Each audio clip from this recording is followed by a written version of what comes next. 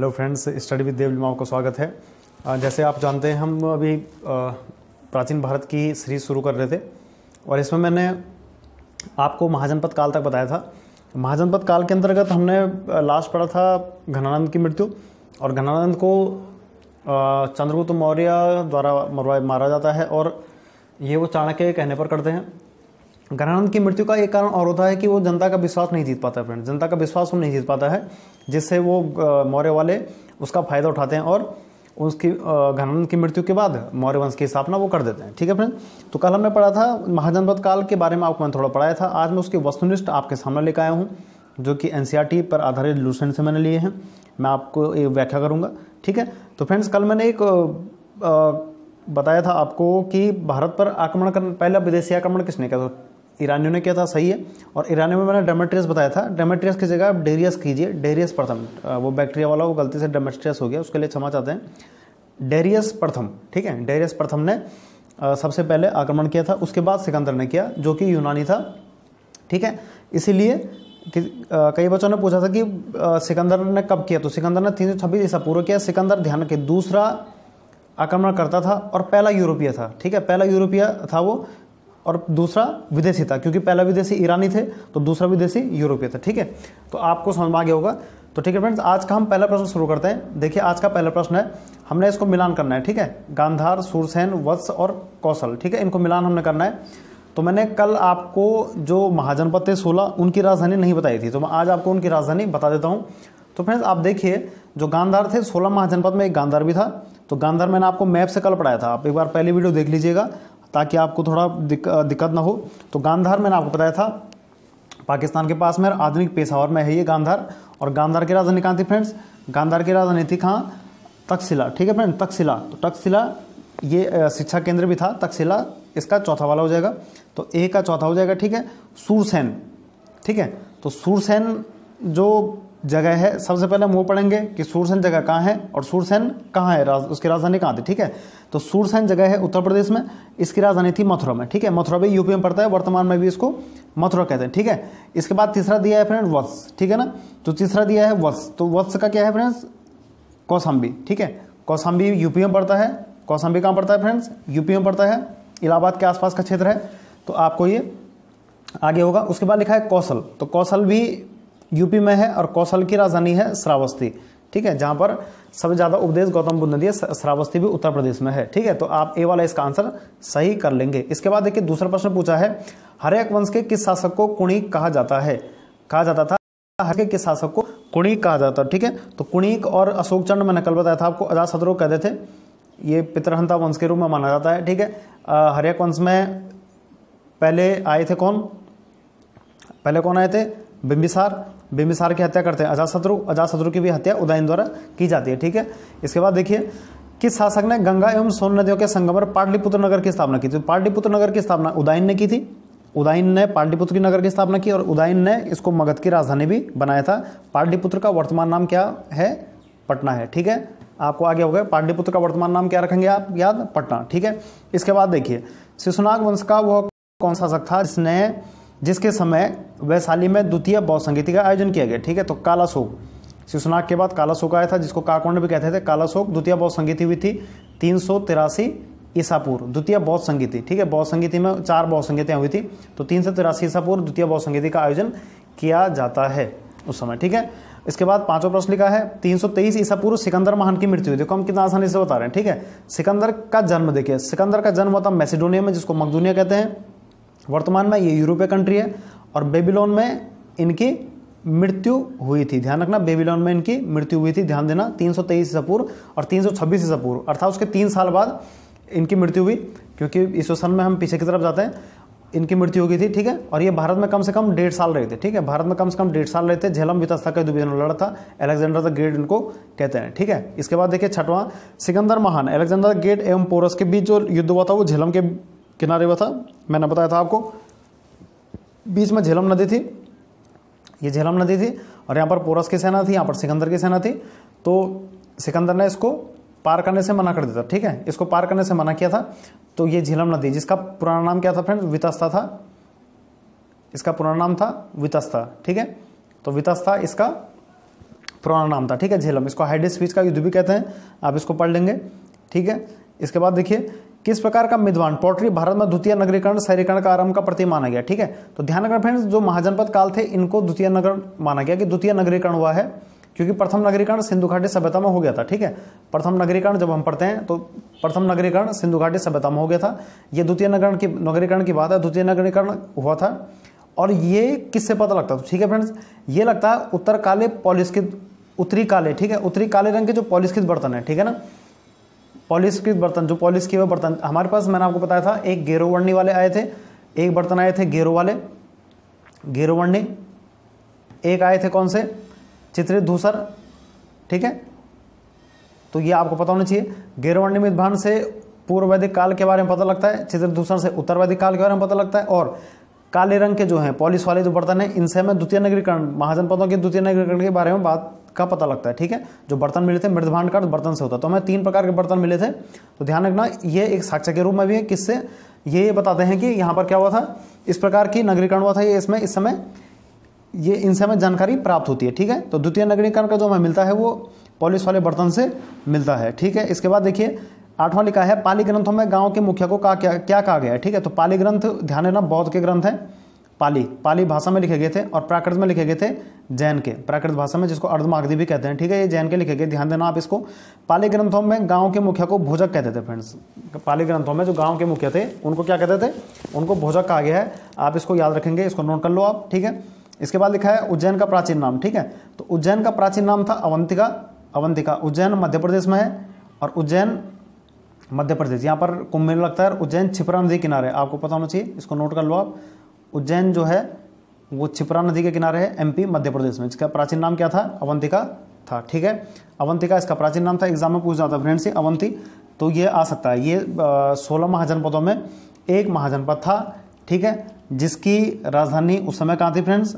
मालवा थी, मध्य प्रदेश में, ठीक है? आपको ये याद होना चाहिए। इसके बाद देखिए, नंदवंश का संस्थापक था महापद्मनंद, ठीक है? जिनके पास सोने के अकूत भंडार थे, ये कथा सरी सागर में सोमदेव ने लिखा हुआ है, ठीक है, महापद्मनंद थे। इसके बाद लिखा है, ग्रीक यूनान लेखकों द्वारा किसे अग्रमीज जनरमीज कहा गया, अग्रमीज कहा गया है यूनान लेखकों द्वारा, ये कहा गया घनानंद को। घनानंद का आप एक उपनाम याद रखो, अग्रमीज, ठीक है, अग्रमीज कहा गया है यूनानी लेखकों द्वारा, या जनरमीज उन्होंने अपने भाषा में इनको नाम दिया घनानंद को, ठीक है, घनानंद, नंदवंश के अंतिम शासक थे, ठीक है, कहीं धनानंद भी लिखा लेकिन घनानंद आप इसको पढ़ लेंगे, ठीक है।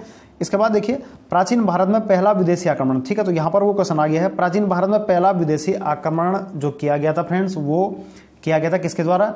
वो किया गया था ईरानियों के द्वारा। ठीक है, और ईरानी ईरानियों ने कब क्या था? 518 ईसा पूर्व क्या था और उन ईरानी का नाम था डेरियस। ठीक है, मैंने कल डेमेट्रियस बताया उसको आप सुधार लेंगे।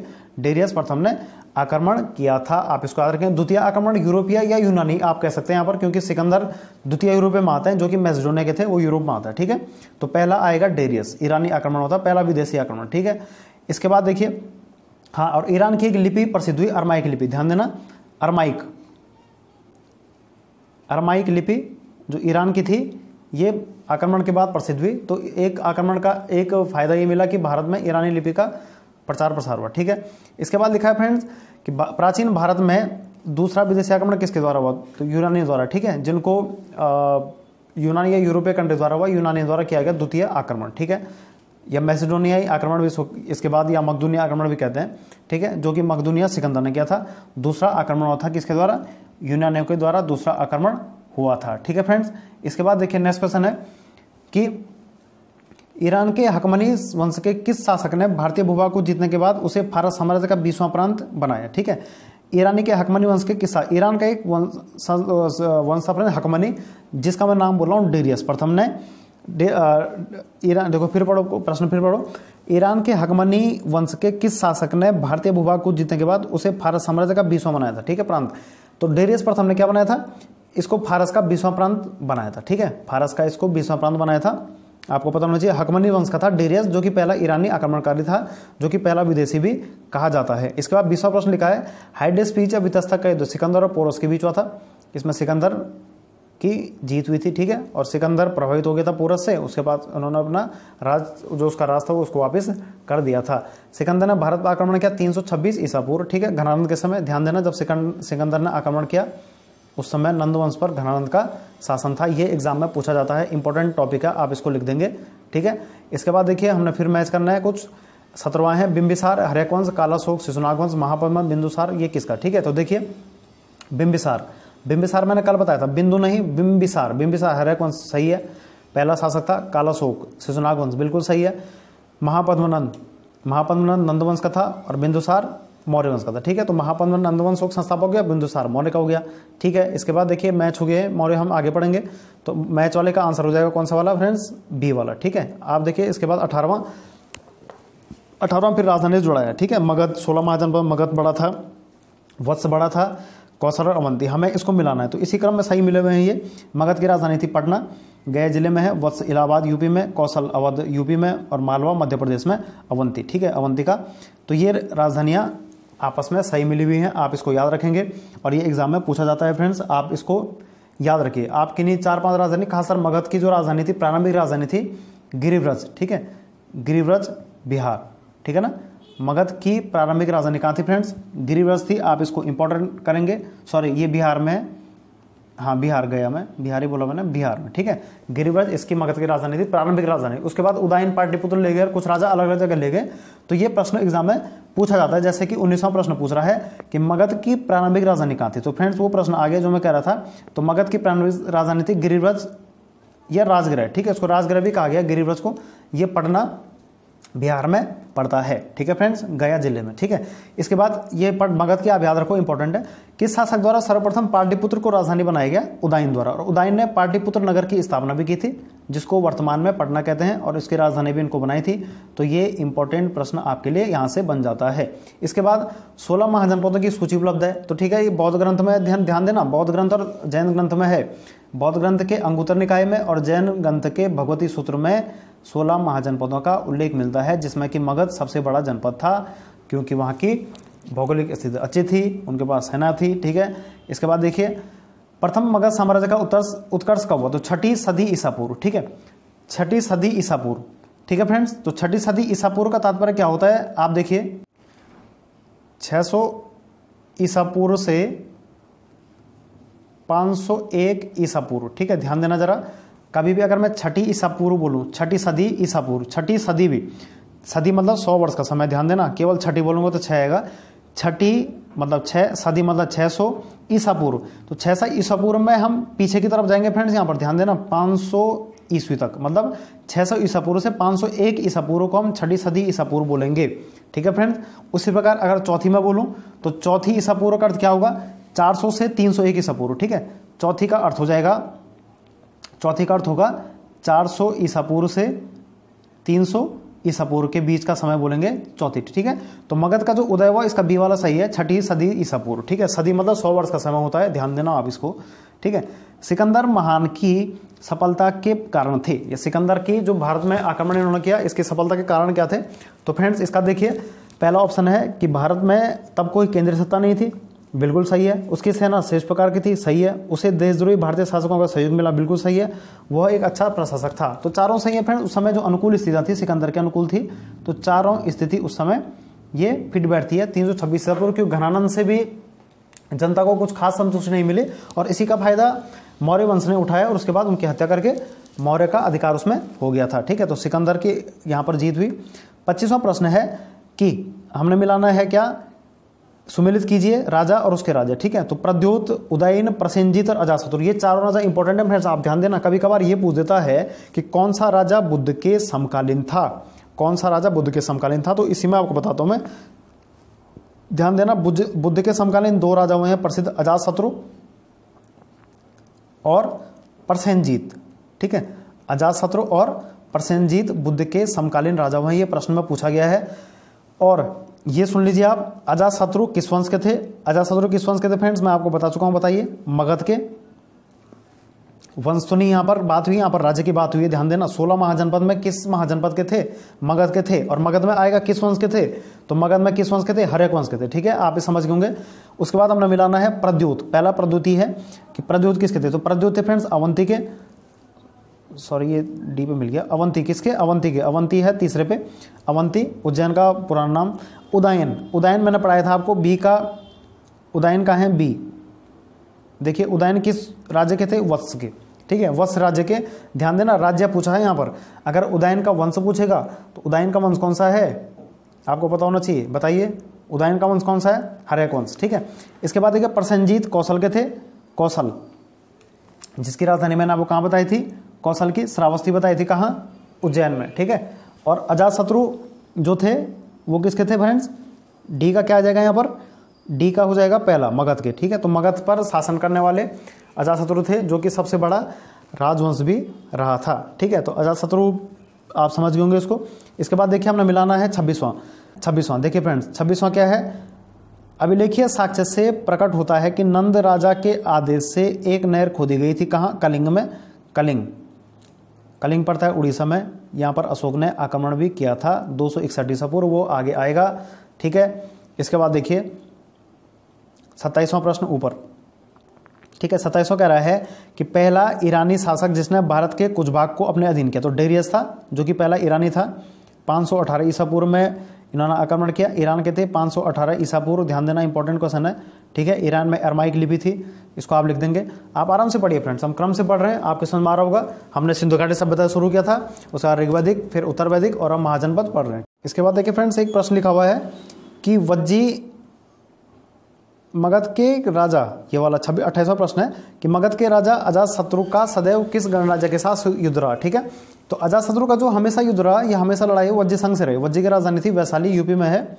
तो वज्जी से इनकी हमेशा लड़ाई रही, किनकी? मगध के राजा अजात शत्रु की, जिनका जिनका उपनाम क्या था? कुणी भी अजात शत्रु कहते थे।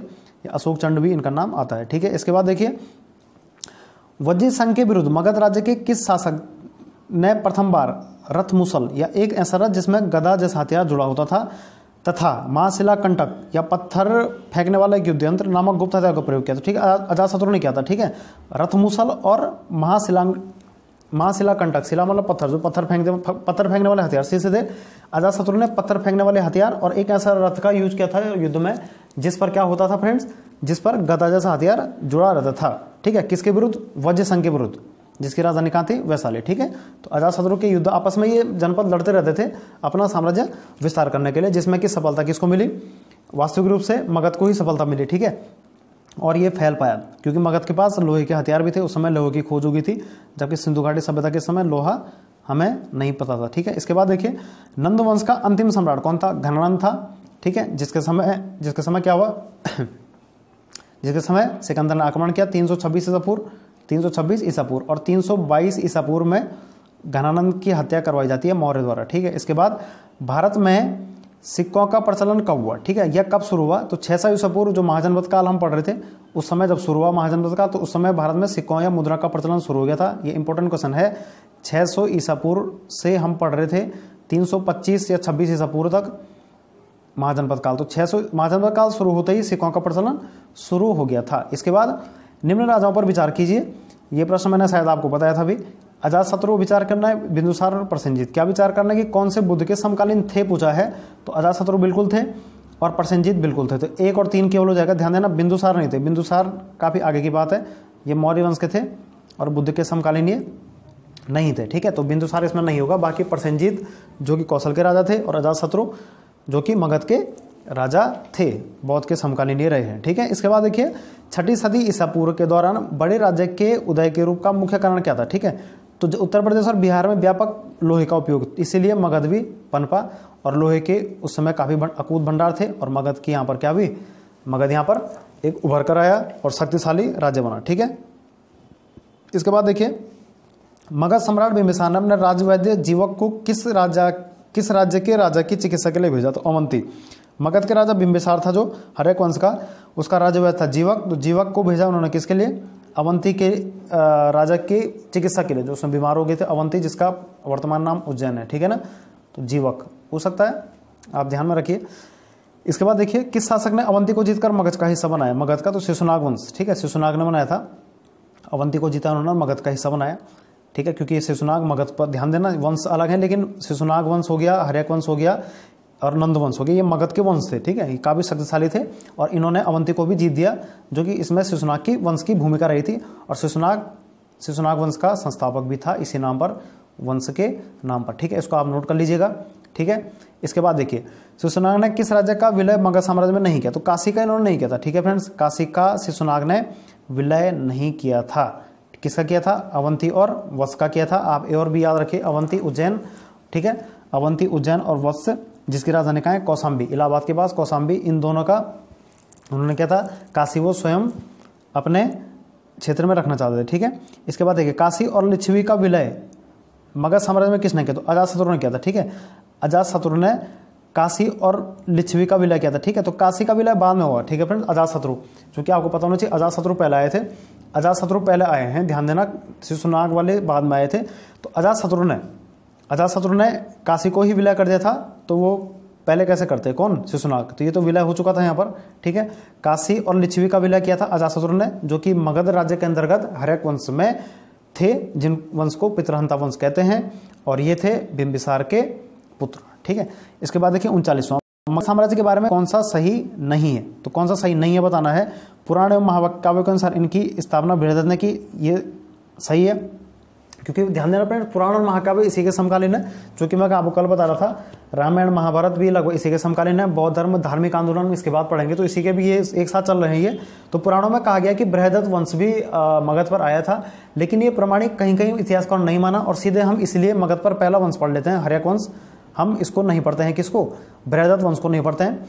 तो ध्यान देना फ्रेंड्स, इसको आप बृहदत्त को हम लास्ट में पढ़ते हैं। तो बृहदत्त अंत में आता है मौर्य वंश में, ठीक है? इसके बाद देखिए महापद्मनंद ने इसे सर्वाधिक विस्तार प्रदान किया। बिल्कुल सही है सर्व छत्रांक इनको उपाधि दी गई। सर्व छत्रांतक उपाधि दी गई थी महापद्मनंद को। या क्षत्रियों का नाश करने वाला सर्व छत्रांतक ठीक है सर्व छत्रांतक कहते थे महापद्मनंद को। छत्रांतक, और कल मैंने आपको बताया था, सर्वाधिक शक्तिशाली राज्य ये किसके रूप में उभरा? नंदवंश। राज्य तो मगध था, लेकिन मगध में नंदवंश सबसे शक्तिशाली राज्य बना, क्योंकि उस समय उनके पास सोने के भंडार थे, कोई कमी नहीं थी, और उपाधि इनको मिली थी, छत्रियों का नाश किया, ठीक है। ध्यान देना फ्रेंड्स एक उपाधि इतिहास में थी और इसमें लिखा भी है, इकराट। इकराट उपाधि उसको मिलती थी, चारों दिशाओं से युद्ध जीत के आता था, ठीक है? चारों दिशाओं से जो व्यक्ति युद्ध जीत के आए, उसको इकराट कहते थे और इकराट महापद्मन को भी कहते हैं, इकराट, ठीक है? इसको आप नोट कर लेंगे इंपॉर्टेंट है। ये किसी भी एग्ज़ाम में पूछा जा सकता है, बड़े से बड़े और छोटे छोटे एग्ज़ाम में, ठीक है? इसके बाद देखिए उनचालीसों का कथन, तीसरा था, गिरिव्रज राजगिर पाटलिपुत्र वैशाली क्रमशः चार राजधानियाँ बनी। बिल्कुल सही है, मगध की राजधानी बनी थी। तो कौन सा सही नहीं? इनमें से कोई नहीं। तो ये सब सही है। ये सही है, ये सही है, ये सही है, ठीक है? इसके बाद, सिकंदर के आक्रमण के समय उत्तर भारत पर किसका अधिकार था? तो नंदवंश में घनानंद थे, मैंने आपको बता दिया, तीन सौ छब्बीस से पूर्व। रिपीट हो गया प्रश्न, आपको पता होना चाहिए, ठीक है? इसके बाद, निम्नलिखित में से कौन सा एक ईसा पूर्व छठी सदी में मतलब सौ छठी सदी ईसा पूर्व का मतलब 600 ईसा पूर्व, ठीक है? प्रारंभ में भारत का सर्वाधिक शक्तिशाली राज्य था। तो मगध था यूपीएससी में पूछा है क्यों था? क्योंकि यहाँ पर लोहे के भंडार थे, वहाँ की अर्थव्यवस्था अच्छी थी, ठीक है? व्यापारिक मार्ग थे उनके पास, उनके व्यापारिक मार्ग थे, ठीक है? राजा भी थे उनके पास, ठीक है? इसके बाद देखिए, निम्नलिखित में से कौन से भारत पर ईरानी आक्रमण के प्रभाव के रूप में माना जाता है, ठीक है? तो कौन सा मानेंगे आप? खरोष्ट लिपि का प्रचार हुआ बिल्कुल सही। अरमाइक लिपि, आप कह सकते हैं इसको, अरमाइक जो ईरानियों के लिए भी थी खरोष्टी का प्रचार हुआ। अभिलेख उत्तीर्ण करने की कला का प्रचार हुआ, बिल्कुल सही है। अभिलेख बनने उस समय उत्कीर्ण करना था। ईरानियों की छत्र प्रणाली का प्रचार प्रसार हुआ। ईरानियों की छत्र प्रणाली का प्रसार हुआ। उनकी प्रणाली थी कोई घंटे आकार के गुंबज की कला, जो घंटे आकार के गुंबज होते हैं, इस प्रकार की कला का विकास हुआ। स्त्री अंगरक्षकों की नियुक्ति हुई। ठीक है, चारों सही है। तो उस समय ये अच्छे काम हुए। ठीक है, ईरानियों के आक्रमण से कुछ सीखने को मिला, ठीक है? सिकंदर के आक्रमण का प्रभाव भारत पर नहीं था। तैतालीसवां प्रश्न कह रहा है, इस आक्रमण ने भारत और यूनान के बीच प्रत्यक्ष स्थापित संबंध कराया। स्थापित संबंध कराया, बिल्कुल सही है, संबंध स्थापित कराया। इस आक्रमण के पश्चिमोत्तर पश्चिमोत्तर मतलब पश्चिम पश्चिम इधर और उत्तर ये वाला भाग, पश्चिमोत्तर जैसे ये है, ये वाला भाग, ठीक है? पश्चिमोत्तर ये वाला भाग है। तो पश्चिमोत्तर भारत में यूनानियों की स्थापना का मार्ग प्रशस्त किया। ठीक है, बिल्कुल सही है, क्योंकि ध्यान देना, पहले सिकंदर ने आक्रमण किया और सिकंदर को देखते देखते यूनानी भी उसके बाद आए थे, इसलिए मैंने कहा कि यूनानी दूसरे आक्रमण करता थे। सिकंदर उनके लिए एक उदाहरण प्रस्तुत हुआ। ठीक है, पहले सिकंदर ने किया। सिकंदर अनेक उपनिवेशी, उपनिवेशों की स्थापना के लिए उत्तरदायी था। बिल्कुल सही। हाँ बिल्कुल सही है। सिकंदर अनेक उपनिवेशों की स्थापना के लिए उत्तर उत्तरदायी था। बिल्कुल, ठीक है, सिकंदर ने अनेक यहाँ पर उपनिवेश स्थापित करवाए, जैसे यूरोपीय यूनानी इत्यादि छोटे मोटे राजा आए। उसने भारत को यूनान की रियासत बनाया। ये गलत है फ्रेंड्स। सिकंदर का प्रभाव नहीं था। उसने भारत को यूनान की रियासत नहीं बनाया। ठीक है? क्योंकि सिकंदर यहाँ पर ज़्यादा समय नहीं रहा। ठीक है? तो ये गलत कथन है। ठीक है? क्योंकि पूरा को उन्होंने अपना पूरा राजपाट दे दिया था। जो पोरस हार गए थे, वो उनसे प्रभावित होकर उन्होंने पोरस को लौटा दिया ठीक है? इसके बाद किस राज्य में गणतंत्रात्मक व्यवस्था नहीं थी? ठीक है? तो मगध में गणतंत्रात्मक नहीं थी फिर राजतंत्रात्मक थी। यहाँ पर राजा की चलती थी, सी से कहना करती है राजतंत्रात्मक बाकी में गणतंत्र देखा जाता है। महाजनपद में कहीं कहीं गणतंत्र, कहीं राजतंत्र देखने को मिलता है, ठीक है? लेकिन मगध में ध्यान देना, मगध में राजतंत्रात्मक नहीं था गणतंत्रात्मक था सॉरी मगध में गणतंत्रात्मक नहीं था राजतंत्रात्मक था। राजतंत्रात्मक अर्थ है जहाँ पर राजा द्वारा शासन किया जाता है, उसके उत्तराधिकारी राजा बनते हैं। जैसे भारत में भी गणतात्मक है राजतात्मक नहीं है, ठीक है? इसके बाद देखिए, निम्नलिखित में से, निम्नलिखित में से सेनिया सेनिया का अर्थ है नियमित और स्थायी सेना रखने वाला। बहुत इंपॉर्टेंट है फ्रेंड्स ये। सेनिया कहते हैं किसको? बिंबिसार को। इंपॉर्टेंट है। बिंबिसार को सेनिया कहा जाता है। बिंबिसार, ठीक है? बिंबिसार को सेनिया कहते हैं और इनको श्रोणिक भी कहा गया। हरे वंश के संस्थापक बिंबिसार, ये स्थायी सेना रखने वाले थे। ये प्रश्न एग्ज़ाम में इनसे एनसीएंड बहुत बार पूछा गया इसके बाद देखिए, उग्रसेन किसे कहते हैं? महापद्मन कहते हैं। इसको आप रट लो। भयानक सेना का स्वामी, ठीक है? भयानक सेना का स्वामी उग्रसेन, ठीक है? महापद्मन नंदवंश के संस्थापक थे। इसके बाद देखिए, डेरियस, पहले जिन्होंने 518 या 516 बीसी में सिंधु के तट भूभा को जीतकर उसे ईरान का बीसवां प्रांत बनाया। उससे कितना राष्ट्र प्राप्त हो ठीक है, ईरान का इन्होंने बीसवां हिस्सा बनाया किसको फ्रेंड्स ईरान का बीसवां हिस्सा किसको बनाया इन्होंने? सिंधु के तटवर्ती भूभाग को, जो सिंधु नदी थी, उसके तटवर्ती भूभाग को इन्होंने ईरान का, उस समय ईरान का इन्होंने क्या बनाया? एक, उसका प्रांत बनाया, ठीक है? तो उस समय राजस्व की इकाई थी टैलेंट, राजस्व की इकाई होती थी टैलेंट, ठीक है? तो वहाँ से इन्होंने इसको बनाया, सॉरी, वहाँ से इन्होंने इसको क्या बनाया? एक प्रांत बनाया, और वहाँ से कितना टैलेंट होता था? 200 सॉरी 360 टैलेंट 360 टैलेंट यहाँ पर, टैलेंट उस समय क्या थी? मुद्रा की इकाई थी तो तीन साठ टैलेंट राजस्व प्राप्त होता था डेरियस को। कहाँ से? जो उसने जीता था, उसको उसने दिया था तो वहाँ से उनको मुद्रा प्राप्त होती और मुद्रा की जो इकाई थी वो टैलेंट थी, जैसे मुद्रा की इकाई रुपए है, ठीक है? इसके बाद देखिए, डेरियस, पहला ईरानी आक्रमणकारी, ठीक है? इसके बाद निम्नलिखित में से कौन सिकंदर महान के के साथ आने वाला इतिहास, इतिहासकार नहीं था तो हेरोडोर्स नहीं था, निर्याकस था, निर्याकस सिकंदर का जल सेनापति हुआ एरिस्टोबुलस था और एनासिक्रिटिस था, और ठीक है हेरोडोट्स नहीं था। इंपॉर्टेंट है महाचंद्र काल में श्रेणियों का संचालक कहा जाता था। श्रेणियों के संचालक को कहते सॉरी श्रेष्ठ कहते थे जो श्रेणी के संचालक होते थे, ठीक है, या जैसे आर्मी वाली सेना के श्रेणी जो आप कह सकते हैं बटालियन टाइप की बनाना या उस तरीके के, उसके संचालक को श्रेष्ठ कहते। हैं गृहपति का अर्थ धनी किसान होता था महाजनपद काल में, धनी गृह को धनी किसान कहते थे, ठीक है? इसके बाद हम पढ़ रहे हैं, बढ़ रहे हैं इक्यावन प्रश्न की ओर। इक्यावन प्रश्न कह रहा है, हमने मिलाना है पद के नाम को उनके काम करने से, ठीक है? जो महाजनपद काल में जो पद होते थे, और उनके काम क्या थे? अष्टकुला का काम था परामर्श देना, बिल्कुल सही है। महामात्र का काम होता उच्च कोटि के अधिकारी, ये भी सही है। बलि साधक का अर्थ होता था किसानों से कर वसूलने वाला सही है। और शुक्लाध्यक्ष का होता था क्या फ्रेंड्स? शिल्पियों, व्यापारियों से शुल्क या चुंगी लेने वाला, ठीक है? व्यापारियों से चुंगी लेने वाला। तो व्यापारियों से चुंगी लेने वाला सौल्किक था। यह शुल्काध्यक्ष था, ये एग्ज़ाम में पूछ जाता है, ये पद और उनसे संबंधित जो टैक्स होते थे, उनसे लेने वाले व्यक्तियों के पद नाम है। ठीक है, इसके बाद देखिए बावनों प्रश्न कह रहा है कि मगध के किस प्रारंभिक शासक ने राजा रेवण के लिए पिता की हत्या की? सबसे पहले अजाशत्रु ठीक है? जबकि बिंबिसार ने सनी किया, उसके बाद अजाशत्रु ने माना जाता है, बौद्ध ग्रंथ माना है, जिनको कुणी कहते हैं। तो बौद्ध ग्रंथ वाले मानते हैं कि अजाशत्रु पितृहंता थे, इन्होंने पिता की हत्या की और उसके बाद उदायन ने इनको फिर मारा। तो पितृहंता वंश ये कहलाता है, ठीक है? इसके बाद देखिए इसके बाद कहा गया है इसमें कि तिरपनवा है, विश्व का पहला गणतंत्र वैशाली किसके द्वारा स्थापित किया गया? लिच्छवी, ठीक है? ये गणतंत्र था, विश्व का पहला, लिच्छवी द्वारा स्थापित किया गया। लिच्छवी जाति थी, ठीक है? लिच्छवी जाति होती थी और वैशाली गणतंत्र था, सबसे बड़ा गणतंत्र ये स्थापित किया गया। इसके बाद देखिए चौवना प्रश्न, फ्रेंड्स, हमारा चौवना प्रश्न कहता है कि हमने मिलाना है राजधानी कुरु की, पांचाल की, कौशल की वस्त की, ठीक है? तो कुरु की राजधानी कहाँ थी, फ्रेंड्स? कुरु मैंने मैप में आपको दिखाया था। कुरु कहाँ पर था? तो देखिए, कुरु, आप फिर मैं एक बार मैप में दिखाता हूँ। तो देखिए फ्रेंड्स आप देख पा रहे होंगे तो कुरु यहाँ पर है, देखिए, कुरु कहाँ पर है? ये है, ठीक है? तो कुरु, देखिए फ्रेंड्स कुरु है ये। तो ये कुरु हरियाणा के आसपास का कुछ क्षेत्र था, आधुनिक दिल्ली जो थी, इसकी कुरु की राजधानी, देखिए, इंद्रप्रस्थ, छोटे उसमें लिखा है, जो छोटे उसमें लिखा है राजधानी है इसकी। तो कुरु की राजधानी इंद्रप्रस्थ, और इंद्रप्रस्थ का वर्तमान नाम है दिल्ली, ठीक है? इंद्रप्रस्थ को ही हम दिल्ली आज कहते हैं। जो कि कुरु की राजधानी रही थी। उसके बाद देखिए, ये सेडी है, ये सॉरी, चेदी है, कल गलती से सेडी बोला मैंने, ये चेदी है, ठीक है? चेदी जो महाजनपद था, चेदी महाजनपद था और इसकी राजधानी कहाँ थी फ्रेंड्स? शक्तिमती थी उत्तर प्रदेश में, ठीक है? शक्तिमती इसकी राजधानी थी। आप इसको याद रखेंगे, चेदी, ठीक है? तो अन्य भी इसमें आप देख लीजिए एक बार, मैप से स्टडी कर लीजिएगा। अवंती यहाँ पर है, जिसको उज्जैन कहते हैं। देखिए, उज्जैन, ये छिपरा नदी के किनारे है। सेडी चेदी हो गया काशी हो गया पांचाली हो गया, मत्स्य हो गया, ठीक है? तो आप इसको एक बार देख लीजिएगा। एक प्रीवियस वीडियो कल मैंने बनाई थी, उस पर आप देख लीजिए, ठीक है? और यहाँ पर सिंधु नदी ये है, आप देखिए। एक बार नदी देख लीजिए आप, झेलम नदी भी यहीं पर है। मैंने आपको कल बताया था झेलम नदी, जिसको वितस्ता भी कहते हैं। झेलम नदी यहाँ से जाती है, और ये सहायक नदी है किसके? ये सिंधु की सहायक नदी है, पूरी एक सिंधु नदी है। ठीक है? झेलम चिनाब, ये सब सिंधु, ये नदियाँ हैं। तो झेलम चिनाब की भी सहायक, वो चिनाब की भी, चिनाब के साथ साथ बहती है और झेलम जब मिलती है नदी में, सिंधु में तो ध्यान रखना मेन नदी का नाम चिनाब रहता है, ठीक है? झेलम नहीं रहता है, ठीक है? अच्छा झेलम के किनारे बसा है श्रीनगर जम्मू कश्मीर की राजधानी श्रीनगर, झेलम के किनारे है, ठीक है? आप इसको याद रखेंगे। इसको हम आगे, जब जोग्राफी पढ़ेंगे तो मैप मैप आपको अच्छे से बताऊँगा, ठीक है? तो बढ़ते हैं फ्रेंड्स, नेक्स्ट क्वेश्चन की तरफ़। तो देखिए फ्रेंड्स हमारा इसका प्रश्न है, जो मिलान करना था वो ठीक है। आप देखिए, कुरु किसे मिलाएँगे आप? कुरु मिलाएँगे इंद्रप्रस्थ से। अभी दिखाया मैंने मैप में आपको। बी का है यहाँ पर तीसरा, आप देखिए पांचाल मिलाएँगे किससे? अच्छी, अही छत्र से, ठीक है? अही छत्र कहाँ पड़ता है फ्रेंड्स अही छत्र कहाँ पड़ता है? जो पांचाल है पांचाल पड़ता है उत्तर प्रदेश में, बदायूं के पास, ठीक है? अही छत्र इसकी राजधानी थी।